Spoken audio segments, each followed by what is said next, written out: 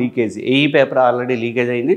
మరి మిగతా పేపర్లు గ్రూప్ వన్ లీకేజ్ కాలేదని చెప్పి మేము మెయిన్ యథాతథంగా పెడతామని చెప్పి నేను B chairman B Janardhan Reddy already ప్రకటన అయితే బయటకు వచ్చి మీ మీడియాతో మాట్లాడారు.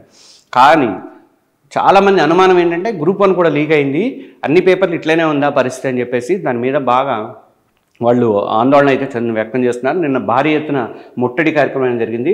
ఒకసారి ఈయన జనార్దన్ రెడ్డి ఏమన్నారో చూద్దాం. ప్రిలిమినరీలో ప్రవీణ్కి నూట మూడు మార్కులే వచ్చాయి. కాకపోతే ఆయన డిస్క్వాలిఫై అయ్యారట. ఏదో మన నెంబరు చేసే దాంట్లో ఏదో తేడా వచ్చింది కాబట్టి డిస్క్వాలిఫై అయ్యాడు. మా పర్మిషన్ తీసుకునే వెళ్ళాడు అని చెప్పేసి జనార్దన్ రెడ్డి చెప్తున్నారు. అయితే జనార్దన్ రెడ్డి కూతురు కూడా గ్రూప్ వన్ రాసింది.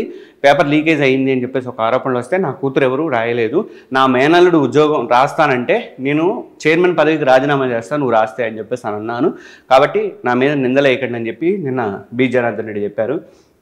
రాష్ట్రంలో గ్రూప్ వన్ ప్రధాన పరీక్షలు మెయిన్ షెడ్యూల్ ప్రకారం నిర్వహించేందుకు ఏర్పాట్లు చేస్తున్నామని TSPSC chairman B Janardhan Reddy తెలిపారు అసిస్టెంట్ ఇంజనీర్ ప్రశ్నపత్ర లీకేజ్ నేపథ్యంలో అనుమానాలకు తావు లేకుండా ఇక నుంచి నిర్వహించే పోటీ పరీక్షలు కొత్త ప్రశ్నపత్రాలు అంటే ఇప్పుడు ఆల్రెడీ కాకుండా ఇంకా మళ్ళీ కొత్తవి అది తయారు చేస్తామని చెప్పేసి అని చెప్తున్నారు. ఏ కొంత ప- టైం కూడా కొంత టైం పడుతుంది. ఏప్రిల్ నాలుగు నుంచి జరిగే పరీక్షలన్నీ షెడ్యూల్ ప్రకారం నిర్వహించేందుకు చర్యలు తీసుకుంటున్నట్టు చెప్పారు. ఏఈ పరీక్షపై మంగళవారం సాయంత్రం సమావేశమై నిర్ణయం తీసుకో వాళ్ళని నిర్ణయించి భావించినప్పటికీ పోలీసు నివేదిక రావడంతో ఆలస్యమైంది. పోలీసు నివేదిక వచ్చిన తర్వాత దాని మీద చర్యలు అనేవి తీసుకుంటాము. దాని మీద ఏం చేద్దాం అనేది ఆలోచన చేస్తామని చెప్తున్నారు. ఆంధ్రజ్యోతిలో వచ్చిన ఐటెం కూడా ఇక్కడ అభ్యర్థుల్లో కుదిపేస్తున్న లీకేజీలు తర్వాత అభ్యర్థుల తీవ్ర ఆందోళన విచారణకు సిట్టు. నిన్న టీఎస్పీఎస్సీ కార్యాలయం ముందు బ్యారికేడ్లు దూసుకుపోతున్న బీజేవైఎం కార్యకర్తలు చాలామందిని అరెస్ట్ చేశారు పోలీసులు లాఠీచార్జ్ చేశారు. విద్యార్థులు విద్యార్థి సంఘాలు కానీ బీజేవైఎం కానీ తర్వాత ప్రతిపక్షాలకు చెందినటువంటి అన్ని పార్టీలకు చెందినటువంటి వాళ్ళు కూడా దీంట్లో పాల్గొన్నారు. ఈ ఈ- ఈయన లీకేజ్ చేసినటువంటి ప్రవీణ్ అనే అతను బుక్లెట్ బుక్లెట్ కోడ్ రాంగ్ బబ్లింగ్తోనే డిస్క్వాలిఫై అయ్యాడట. నూట మూడు మార్కులు వచ్చినాయి ఆయనకి. ఆయన ఇప్పుడు సోషల్ మీడియాలో చెక్కలు కొడుతుంది బబ్లింగ్ చేసినటువంటి పేపరు. తర్వాత గ్రూప్ వన్ పేపర్ లీక్ పైన అనుమానం ప్రవీణ్ ఫోన్లో లీక్ అయిన ఏఈ పరీక్షా పేపర్లు టౌన్ ప్లానింగ్ ఓవర్సీ పేపర్లు లభ్యము. నిన్నటిదాకా టౌన్ ప్లానింగ్ ఏం దొరకలేదు ఓన్లీ ఏఈ ఒకటే రిలీజ్ అయిందని చెప్పారు. కానీ అది కూడా దొరికిందట. అంటే ఈ ఎప్పటి నుంచో సాగుతుందో ఇప్పుడైతే ఇప్పుడు చెప్పుకుంటూ వస్తున్నారు కానీ గ్రూప్ వన్ కాలేదని గ్రూప్ వన్ కూడా అయ్యే ఉంటుందని అనుమానాలు అయితే వ్యక్తమవుతుంది.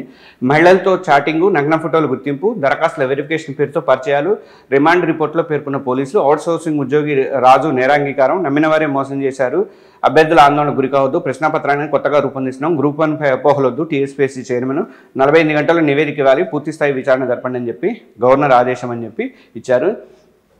టీఎస్పీసీ పరీక్షా ప్రశ్నపత్ర లీకేజ్ వ్యవహారం తీవ్ర రూపం దాల్సింది. లక్షల మంది అభ్యర్థులు భవిష్యత్తుతో కూడిన అంశం కావడంతో దీనిపై తీవ్ర ఆందోళన వ్యక్తమవుతుంది. ఈ కేసులో ప్రధాన నిందితుడు గ్రూ ప్రవీణ్ గ్రూప్ వన్ పరీక్ష రాయడం అందులో అతనికి నూట మూడు మార్కులు రావడం ఈ పేపర్ కూడా లీక్ అయిందన్న అనుమానాలు వస్తున్నాయి. దీనిపై ప్రతిపక్షాలు బగ్గుమైన బీజేపీ తర్వాత యువజన కాంగ్రెస్ టీజేఎస్ తర్వాత బీఎస్పీ కార్యకర్తలు మంగళవారం టీఎస్పీ కార్యాలయాన్ని ముట్టించారు. లీకేజ్ వెనక ప్రభుత్వ పెద్దల హస్తం ఉందని చెప్పారు. ప్రతిపక్ష నాయకులు రేవంత్ రెడ్డి కానీ బండి సంజయ్ గాని ఇద్దరు కూడా ఆరోపించారు.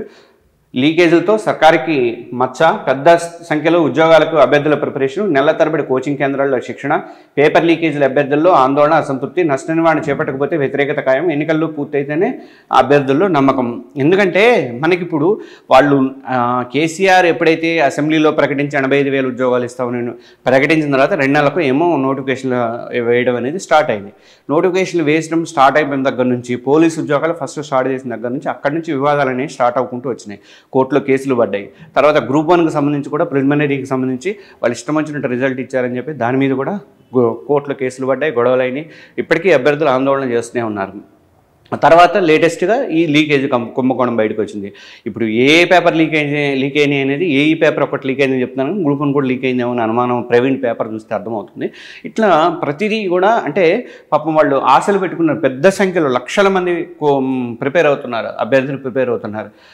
నెలల తరబడి కోచింగ్ నిజంగా కోచింగ్ సెంటర్లో తీసుకోవాలంటే అండి గ్రూప్ వన్ కానీ గ్రూప్ టూ స్థాయి కానీ పోస్టులకి తీసుకోవాలన్నా ఎస్ఐ స్థాయి పోస్టులకు తీసుకోవాలన్నా కూడా అంటే గ్రూప్ వన్ గ్రూప్ టూ స్థాయి అయితే నలభై నుంచి యాభై వేల రూపాయలు మూడు నెలలు నాలుగు నెలల్లో ఖర్చు అవుతాయి. ఓన్లీ కోచింగ్ సెంటర్కి ఇచ్చే ఫీజు వాళ్ళు మళ్ళీ హైదరాబాద్ వచ్చి లేదా కరీంనగర్ లేదా ఖమ్మము ఇట్లా పెద్ద పెద్ద పట్టణాలకు వచ్చి వాళ్ళు ప్రిపేర్ అవ్వడానికి వాళ్ళ హాస్టల్స్లో ఉండాలి హాస్టల్ ఖర్చులు అవుతాయి. దానికి తోడుగా ఇంటి దగ్గర నుంచి వాళ్ళు అప్పులు చేసి తీసుకోవచ్చు. అంటే ఉద్యోగం కొడితే ఎట్లా ఒకట్లా జీతం ద్వారా వచ్చి తీసుకోవచ్చు.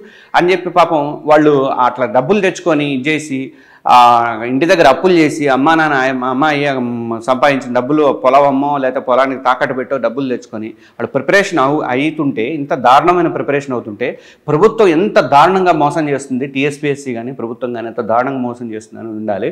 వాడు ఇంటి దొంగలు చేశారు కాబట్టి మేము ఏం చేయలేపని చెప్తున్నారు ఈరోజు ప్రవీణ్ మన జనార్దన్ రెడ్డి గారు. కానీ మీరు ఆ ప్రభుత్వం కానీ ఐటీలో ఐటీకి సంబంధించి పకడ్బందీగా మీరు ఎందుకు చర్యలు తీసుకోలేకపోయారు? వాడెవడో వచ్చి తస్కరించి వాడు ఇష్టం వచ్చినట్టు చేస్తుంటే కనీసం ఎందుకు కనిపెట్టలేకపోతున్నారు? దానికి సంబంధించి ఒక సర్వర్ కానీ ఒక మెయింటెనెన్స్ కానీ ఏమి ఉండదా? ఇట్లా ఇంత దారుణంగా బయటకు పేపర్లు వచ్చేసి ఎవడు కాడే డబ్బులు ఇచ్చి కొనుక్కొని పోతుంటే ప్రతిభతో కష్టపడి ఎనిమిది గంటలు పది గంటలు పద్నాలుగు గంటలు చదివి ప్రిపేర్ అయిన వాళ్ళ పరిస్థితి ఎట్లా ఉంటుంది చెప్పండి? ఎంత దారుణంగా ఉంటుంది. నిజంగా గౌరవం మన ప్రతిపక్ష నాయకులు అన్నట్టు దీంట్లో పెద్దల హస్తం కూడా ఉందేమో. అట్లా కూడా అనుమానించాల్సి వస్తుంది ఇప్పుడు. దీనికి కేటీఆర్ ఎందుకు సమానం చెప్పడు? ఇప్పుడు హరీష్ రావు కానీ కేటీఆర్ కానీ సెంట్రల్ గవర్నమెంట్కి సంబంధించి ఏదో ప్రకటనలు చేస్తుంటారు. నమస్తే తెలంగాణలో పొద్దులేసి అట్లాంటి వార్తలే వస్తాయి. ఏమైంది? ఇక్కడ ఎందుకు స్పందించరు మీరు?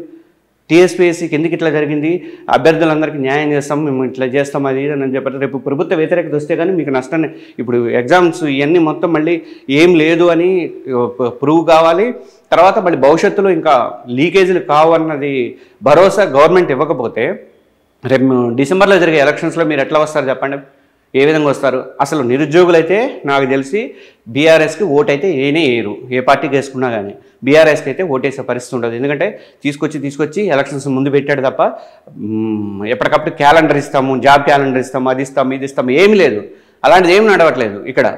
అలాంటిది నీకు అసలు కోచింగ్ తీసుకొని లక్షలలో ఖర్చులు పెట్టి వాళ్ళందరూ పాపం చాలామంది ఆత్మహత్యలు చేసుకున్న తర్వాత షర్మిల వైఎస్ఆర్టీపీ షర్మిల నిరాహార దీక్షలు చేయడము తర్వాత బండి సంజయ్ కానీ రేవంత్ రెడ్డి కానీ దాని మీద గట్టిగా స్పందించడము మానవతరాయ్ లాంటి వాళ్ళు ఓఈజేసి నాయకులు మానవతరాయ్ రాయి వాళ్ళు లాంటి వాళ్ళు స్పందించడము ఇలాంటి సందర్భాల్లో మాత్రమే ఇంత గొడవలు అయిన తర్వాతే చివరికి నువ్వు అసెంబ్లీలో ప్రకటన చేసి దాన్ని రిలీజ్ సరే రెండు నెలలకు మూడు నెలలకైనా రిలీజ్ అయితే చేసావు. ఇంత డబ్బులు ఖర్చు పెట్టుకున్న అభ్యర్థులు ఏమైపోవాలి? ఇట్లా లీకేజ్లు అయితే? దారుణం అసలు. వెలుగులో వచ్చినటువంటి వార్త ఒకసారి చూద్దాము.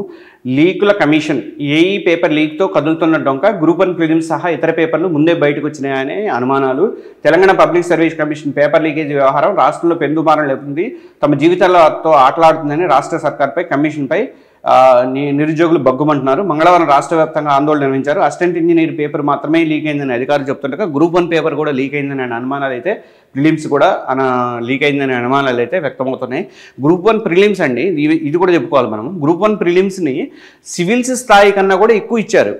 దాంట్లో మొత్తం జతపరచటాలు స్టేట్మెంట్లు అవి ఇవి ఇచ్చి అసలు వాళ్ళు మొత్తం అన్ని క్వశ్చన్స్ అటెంప్ట్ చేయడానికి కూడా టైం సరిపోయినంతగా ఇచ్చారు.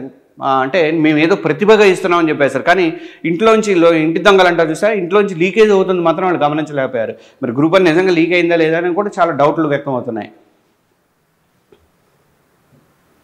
ఇక్కడ చూడండి ఎంత గొడవ జరుగుతుందో. నిందితులు ప్రవీణ్కు గ్రూ వాడికి ఆయనకి నూట నూట మూడు మార్కులు వచ్చినాయట. ఇంకా దిశాలో కూడా ఇంకా బాగా ఇచ్చారు చూడండి. అసలు అన్నింట్లో కిరికిరే అని చెప్పి ఒక ఐటమ్ ఇచ్చారు. ఇది రాష్ట్రంలో మొదటి నుంచి ఉద్యోగాల భర్తీలో పారదర్శక లోపించిన విమర్శలు వ్యక్తమవుతున్నాయి. రెండు వేల పదిహేనులో సింగరేణి నోటిఫికేషన్ వేసినప్పుడు కూడా తర అక్కడ నుంచి స్టార్ట్ అయింది. తర్వాత టీఎస్పీఎస్సీ లేటెస్ట్గా నిర్మించిన ఏఈ ఎగ్జామ్ వరకు ఏదో ఒక వివాదం అనేది మాత్రము నడుస్ నడుస్తూనే ఉంది. స్టేట్ గవర్నమెంట్ మీద నడుస్తూనే ఉంది. రహస్యంగా ఉండాల్సిన పరీక్ష పరీక్షా పత్రాలు ముందే బయటకు వస్తున్నాయి. ఇలాంటి ఘటనలు వరుసగా చోటు చేసుకుంటున్నా ప్రభుత్వం నోరు మీద పోవడం అదే నేను అనేది కోటిఆర్ కానీ కేఎస్ కేసీఆర్ కానీ మరి హరీష్ రావు కానీ పొద్దున్న లేస్తే మంత్రులు ఓ ట్వీట్లు చేసి ఆ కవితకి ఈడీ నోటీసులు ఇచ్చి రమ్మనమని పిలవగానే మొత్తం అందరు కలిసి పొలవమని అక్కడికి పోయి గొడవ గొడవ చేసి వచ్చారు. ప్రతి వాళ్ళు కూడా ప్రకటన ఇవ్వకపోతే ఊకో అని చెప్పేసి ఆయన గట్టిగా అనేసరికి మంత్రులందరూ ట్వీట్లు చేసి మళ్ళీ మీడియాకి దాన్ని ఇది వేయండి స్క్రోలింగ్ చేయండి ఆయన న్యూస్ ఐటమ్ వేయండి అని చెప్పేసి దాన్ని పంపించారు. మీడియా ప్రతినిధులు కూడా పంపించారు. ప్రతి మంత్రి కూడా పంపించారు. మరి మీరు ఇప్పుడు ఎందుకు మాట్లాడలేదండి? మీరు అందరూ కూడా? మీరు ఏమైపోయారు? అంటే కవితకు ఒక న్యాయమను నిరుద్యోగ అభ్యర్థులకు ఒక న్యాయమా? తెలంగాణలో నిరుద్యోగ అభ్యర్థులకు ఒక న్యాయమా? ఇక్కడ లక్షల మంది ఉన్నారండి. లక్షల మంది గురించి మీరు ఎందుకు స్పందించరు అసలు? జూలై జూలైలో గత ఏడాది జూలైలో విద్యుత్ సంస్థలో లైన్మెన్ పోస్టుల భర్తీకి సంబంధించి క్వశ్చన్ పేపర్ కూడా లీక్ అవడంతో ఆ ఎగ్జామ్ను రద్దు చేశారు. పోలీసు ఉద్యోగుల భర్తీ కూడా రచ్చకెక్కింది. ఇది రెండు సార్లు మూడు సార్లు కోర్టులు మొట్టిగా వేసిన తర్వాత ఏడు మార్కుల గురించి చేసిన తర్వాత చాలా ఇది అయిన తర్వాత అప్పుడు కానీ స్పందించారు వాళ్ళు. ప్రశ్నాపత్రంలో తప్పులు ఈవెంట్స్లో మార్పుల కారణంతో ఈవెంట్స్ అయితే నిజంగా ఎస్పీ రిక్రూట్మెంట్ కూడా లేనంత ఈవెంట్స్ మన మన దగ్గర పెట్టారు. ఆ ఈవెంట్స్కి ఎక్కువ డిస్టెన్స్ కానీ దూకటం కానీ రన్నింగ్ కానీ ఇవన్నీ కూడా మొత్తం ఎక్కువ పెట్టారు మనకి. ఇలా ప్రతి రిక్రూట్మెంట్లోనూ వివాదాలు తలెత్తుట్లో వ్యవస్థలో లోపాలే కారణంగా తెలుస్తుంది. ఇది చూడండి రెండు వేల పదిహేనులో సింగరేణి తాజాగా టీఎస్పీఎస్సీ. సింగరేణిలో ఒక్కో పోస్ట్ని పది లక్షలుగా అమ్ముకున్నారని చెప్పేసి అప్పట్లో ఆరోపణలు అనేవి వచ్చినాయి. విద్యుత్ సంస్థలో ఎగ్జామ్కి ముందే క్వశ్చన్ పేపర్ బయటకు వచ్చింది. ఫలితంగా జూనియర్ లైన్మెన్ పరీక్ష రద్దయింది. పోలీస్ రిక్రూట్మెంట్లోనూ వివాదాలు. తాజాగా పబ్లిక్ సర్వీస్ కమిషన్ ప్రశ్నాపత్రాలు లీకేజీ. తెలంగాణ రాష్ట్రం ఏర్పడినప్పటి నుంచి రాష్ట్రంలో కొలువుల భర్తీ ప్రక్రియలో పారదర్శకత ట్రాన్స్పరెన్సీ లేనే లేదు. రహస్యంగా ఉండాల్సిన పరీక్షా పత్రాలు ముందుగానే లీక్ అవుతున్నాయి. ఇలాంటి సందర్భంలో ఒకటి రెండు సార్లు వరుసగా చోటు చేసుకుంటున్నాయి. ప్రభుత్వ నిర్లక్ష్యమో లేదంటే అధికారుల అలసత్వం తెలియదు కానీ మొదటి తప్పు జరిగినప్పుడే కఠినంగా వ్యవహరించుంటే ఇప్పుడు ఈ పరిస్థితి వచ్చేది కాదని చెప్పేసి నిరుద్యోగులు అంటున్నారు. హ్యాక్ అయిన సర్వర్లో అనేక ప్రశ్నపత్రాలు ఉన్నాయి వాటిని మళ్ళీ తయారు చేస్తాం. ఇప్పుడే గ్రూప్ వన్ విషయం మాట్లాడడం కరెక్ట్ కాదు. మెయిన్స్ యథావిధిగా కొనసాగుతుంది. ఏఈ ఎగ్జామ్ రద్దుపై నేడు నిర్ణయము అని చెప్పి ఈయన అంటున్నారు. అన్ని పేపర్లు కూడా ఇవాళ దీని మీదే కవర్ చేసినాయి. సాక్షిలో మనకు ఇంకొక ఇంపార్టెంట్ ఇష్యూ ఉందండి. అదొకటి మనం చూద్దాం ఈరోజు. దీనికి సంబంధించి గ్రూప్ వన్లో ప్రావీణ్యం. నూట యాభై మార్కులకి నూట నూట యాభైకి నూట మూడు మార్కులు సాధించిన ప్రైవేటు. ఆఫీస్కి ఒక్కరోజు కూడా సెలవు పెట్టిన లీక్ వీరుడట. మరి ఆఫీస్కి సెలవు పెట్టకుండా నూట మూడు మార్కులు ఎట్లా వచ్చింది చెప్పండి? అది చాలా డౌట్ అసలు. అదే ఆ పరీక్ష పేపర్ను తస్కరించారని అనుమాలు ఓఎంఆర్ షీట్ సరిగా నింపలేకపోవడంతోనే డిస్క్వాలిఫై అయ్యాడు.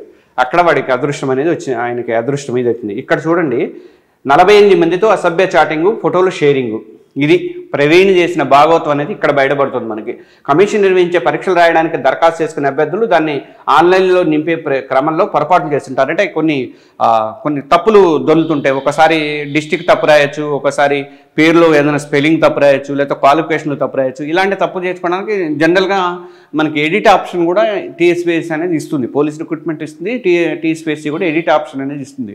ఆ ఎడిట్ ఆప్షన్ కూడా వాళ్ళు ఉపయోగించుకోవడం రాకపోతే వాళ్ళు ఏం చేస్తారంటే డైరెక్ట్ కమిషన్కి వచ్చేవాళ్ళు అనమాట ఆ కమిషన్కి వచ్చేటువంటి మహిళలు దాదాపు నలభై ఎనిమిది మంది మహిళలు వాళ్ళు యువతులు వాళ్ళ నెంబర్లు తీసుకొని ఫోన్ నెంబర్లు తీసుకొని వాళ్ళతో పరిచయాలు పెంచుకొని ఈ ప్రవీణ్ అనేవాడు వాళ్ళతో అసభ్యంగా చాటింగ్ చేయడము ఈ రేణుక కూడా అట్లనే పరిచయం అయిందట. గురుకుల ఎగ్జామ్ సందర్భంలో అమ్మాయి పరిచయం అయిందట అమ్మాయికి జాబ్ కూడా వచ్చింది. అంటే గురుకుల ఎగ్జామ్ కూడా లీక్ అయిందా అనే డౌట్ ఇప్పుడు వ్యక్తం అవుతుంది ఈ ప్రవీణ్ అనేవాడు అప్పుడే లీక్ చేశాడా అని చెప్పేసి ఇప్పుడు డౌట్ వస్తుంది. ఈ అమ్మాయిల నెంబర్లు అవి తీసుకొని వాళ్ళకి అసభ్యకరమైనటువంటి ఫోటోలు పంపించడము వాళ్ళతో చాటింగ్లు చేయటము ఇవన్నీ కూడా పోలీసులు రికవర్ చేశారు. అంటే ఎప్పటి నుంచి జరుగుతుంది ఈ వ్యవహారము? ఈ ప్రవీణ్ అనేవాడు ఎప్పుడు జాయిన్ అయ్యాడు? ఎప్పటి నుంచి జరుగుతుంది? మనం నిన్న మాట్లాడుకున్నట్టుగా కాంట్రాక్ట్ వ్యవస్థకి వీళ్ళందరినీ అప్పచెప్పడం అనేది శాశ్వత ఉద్యోగులైతే ఒక గవర్నమెంట్ ఉద్యోగం పోతుందన్న భయంతో పనిచేస్తాను ఈ కాంట్రాక్ట్ ఉద్యోగులు ఏముంది? పోతే పోయింది వచ్చే వచ్చింది. వస్తే డబ్బులు వస్తాయి కదా కోట్లలో వస్తాయి కదా లక్షలలో వస్తాయి కదా ఆ యాంగిల్లోనే ఉంటారు. ఇప్పుడు ఇతను చేసినటువంటి ఇవన్నీ మొత్తం నలభై ఎనిమిది మంది లేడీస్ని ఇట్లా వేధించాడు. ఈ ప్రవీణ్ అనేవాడు. ఆ రేణుక కూడా అట్లానే పరిచయం అయిందట